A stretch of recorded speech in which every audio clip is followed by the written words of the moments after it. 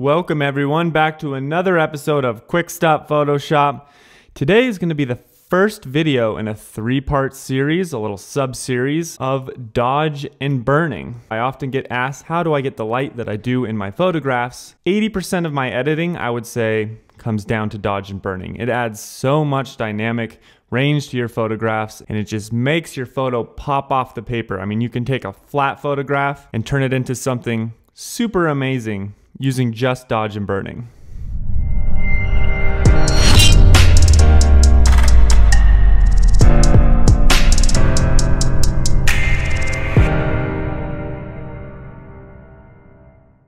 Before we jump right into it, I want to give a brief kind of background on dodge and burning. Where did it come from? Why is it called dodging? Why is it called burning? So, back when photographs were developed in dark rooms, you would dodge and burn the developing photograph. Dodging is when you're dodging light or you're reducing the amount of light exposed on the photograph while it's developing. So we'd use like a little uh, popsicle shaped thing on a stick to block or cast shadows on the photograph. That area of the photograph would then become brighter as it develops. And then burning is when you're exposing extra light to a spot on a photograph. In that area of the photograph, as it was developing, the photograph would get darker.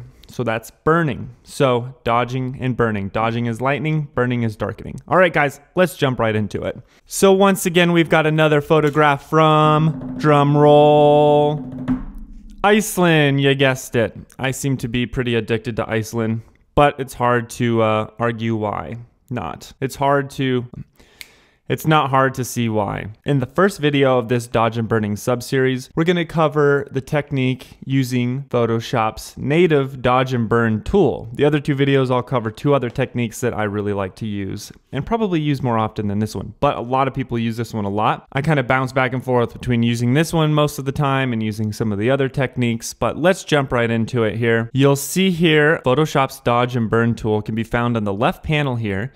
The dodge tool is shaped like a popsicle stick. As we were talking earlier, it casts shadows over the developing photograph. That's where that symbol comes from. And then the burn tool is a little hand with a hole in it. So you're kind of letting through extra light as the photograph develops. So that's how you can remember what's burning and what's dodging. Also, it says burn and dodge tool. We'll also see on the top bar here, we have additional menu options, very important. We have our range, so we can target a specific range, midtone, shadows, and highlights. This comes in handy quite a bit while you're using this tool. I usually do midtones and then I'll target highlights later on. And then we have our exposure. You can think of this as like an opacity, a brush opacity. So what's the flow of your brush? How strong do you want it to come through at each stroke? And then we have this very important protect tones. So what protect tones does while you're dodging or burning over an area, it protects your shadows and your highlights. So it prevents them from clipping. And it also stops your colors from changing hue or becoming becoming less saturated. Often when we lighten an area in a photograph, the saturation drops. And then when you darken an area in the photograph, the saturation increases. That's just a rule of thumb. Checking protect tones will help balance or neutralize those effects that we don't want while we're lightening and darkening our photo darkening our photographs. Let's take this shot for example. I made an extra layer called dodge and burn so we can see some before and after. You'll see when I look at a photograph, I'm gonna say, where is the light coming from? To myself? That's a question I ask. It's a good question to ask. When we're dodging and burning, we want to stay true to the direction of light or else it starts to look funky. So in this photograph, the light is coming from the right side here. So the dodging is gonna happen along this wall, which we have some natural sunlight already and dodging really helps bring that out. Often in a lot of my photographs, I don't have any direct light like I do in this one and dodging can really help bring light into a photograph where the photograph would otherwise be quite flat. In this case, we do have a lot of light, but dodging will still help us kind of emphasize or exaggerate this light. On the opposite side of the light, like on the shaded part of hills and rocks, we can darken those areas to really bring some contrast and some punch to our photographs. So let's start dodging. Dodging is usually what I do first. You'll see we have some light over here. I've set my exposure to 30. This is usually what I do so I can kind of work things in. I'm also using a Wacom tablet with a pressure sensitive pen. So depending on how hard I push, it also changes the opacity of my pen. Uh, I highly recommend getting a Wacom tablet. We'll talk about this in another video though. So we have some sunlight over here. I'm gonna change my brush size a little bit and just start painting in some of this light. It really doesn't matter too much if you're kind of sloppy over the shadows because we do have it ranging the range targeting the midtones, not the highlights, not the shadows. So we're kind of brightening the areas that need a little bit of brightening. And luckily that mask that Photoshop has built in up here, this range mask, does a really good job. So we're gonna just start painting in here. And I kind of follow the contours of the landscape while I'm doing this. And you can get as carried away as you want. So when I'm doing this, I often zoom in a bit. And that helps me see what I'm doing and kind of target more accurately some of the areas of the landscape. So I'm just gonna kind of paint in and for the sake of the video, I'm not gonna go crazy with this. Sometimes I spend like an hour dodging and burning, believe me, and I really get into the details. But just for the sake of this video, I'm going to kind of do this in a crude and quick way. So we've also got some light on the other side here. Quick tip, O is the hotkey for dodging and burning on your keyboard. So also we're gonna paint over here. We have our light coming through from the right side, like we said. You can see it's kind of on the ridge line here, so I'm gonna target that area as well. Let's zoom in a little bit more. And I'm constantly changing the size of my brush to kind of match whatever ridge line width I'm trying to dodge.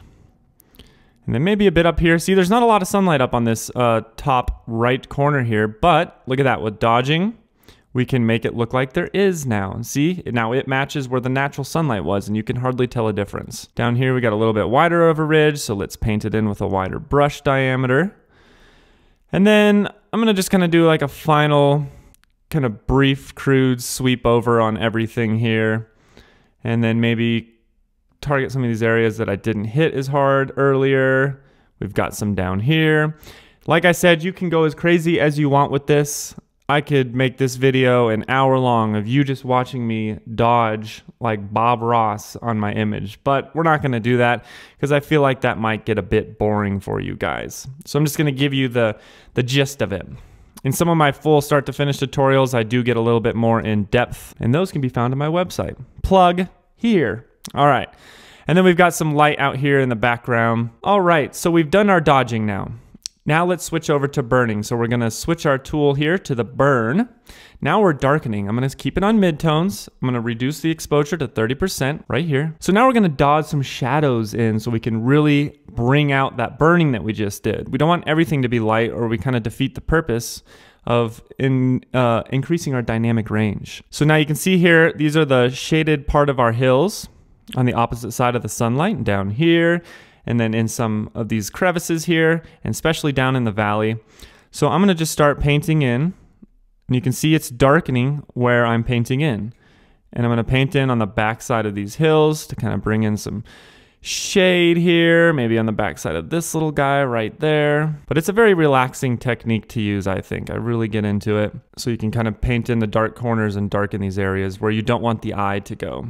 Yeah, another important thing I forgot to mention earlier is dodge and burning is very effective for guiding the viewer's eye through your image. That's another reason why we highlight and darken areas. Highlight areas we want the viewer to look at, and darken areas that aren't as important and we want the eye to kind of uh, skip over. They're important for balancing out the, the highlights and giving more presence to the highlights, but we don't want the eye to linger on those darker areas. All right, so I'm gonna paint in some here, maybe a little bit more on my hill right there, a little bit down here in the dark end of the valley. You can paint in a little bit on the shadows that the clouds are casting just to give a little bit more of that spotlighting effect on the landscape darken some of that background. And I think for now, this is pretty good. So I've done a quick dodge and burning. Now let's see a before and after. Here's a before, and then check out this after. And that took us like five minutes. We've brought in so much range, dynamic range, and kind of life to our photograph just through dodging and burning very quickly. The next step that I would do is it does feel a little empty over here is I would do some light bleeding. And that will also be in another quick stop Photoshop video. And that's where we introduce some of that atmospheric glow that you see from the sunlight when it's right off frame.